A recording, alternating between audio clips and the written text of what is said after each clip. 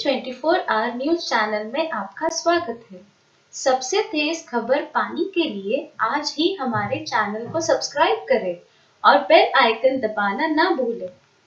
UP के बांदा में बीते शुक्रवार को सिखों के दसवें धर्म गुरु गुरु गोविंद सिंह के जन्म दिवस पर जिलाधिकारी हीरालाल ने एक नई शुरुआत करते हुए पेड़ प्रसाद कार्यक्रम का आयोजन कराया, जिसके अंतर्गत जुमे की नमाज़ के बाद नमाज़ पढ़ने गए सभी मुसलमान भाइयों को सीडीओ ने प्रसाद के रूप में पेड़ बांटे। यहाँ आपको बता दें कि जिलाधिकारी हीरालाल रोज नए नए कार्यों से जनता के बीच में एक अलग पहचान बना चुके हैं।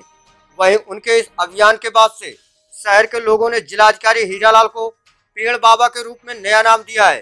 डीएम ने गुरु गोविंद सिंह जयंती के आयोजन स्थल से ही वृक्षारोपण कार्यक्रम की नई शुरुआत की थी, जिसमें गुरुद्वारे में डीएम ने पेड़ जियाओ अभियान के तहत सौ पौधे गुरु प्रसाद के रूप में श्रद्धालुओं को वितरित किए थे। तो वहीं शुक्रवार को सीढ़ियों ने मस्जिदों में पहुंचकर जुमा की नमाज़ पढ़ने आए लोगों को गेंदा और गुलाब के पेड़ बांटकर लोगों को पेड़ लगाने के लिए प्रेरित करते हुए इस मुहिम को आगे बढ़ाने में लोगों से सहयोग मांगा। हमारे जिलाधिकारी महोदय ने एक नया कॉन्सेप्ट लाया है कि हम मंदिर मस्जिद गुरुद्वारे से जो प्रसाद देते हैं तो प्रसाद के रूप में थोड़े थोड़े पौध दिए जाए लोगों को। जब इस पौध को लोग ले जाएँगे घर में लगाएँगे प्रसाद के रूप में एक आस्था के रूप में तो वो पेड़ को कोशिश करेंगे हमेशा जीवित रहे।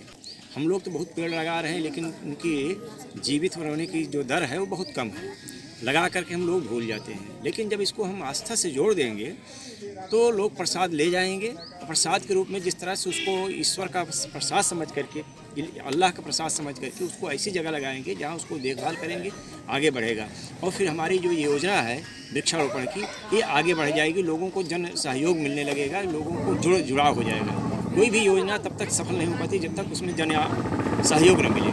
तो इसको प्रसाद के रूप में अगर ले जाएँगे, ये बहुत मंदिर से, मस्जिद से, गुरुद्वारे से तो लोगों की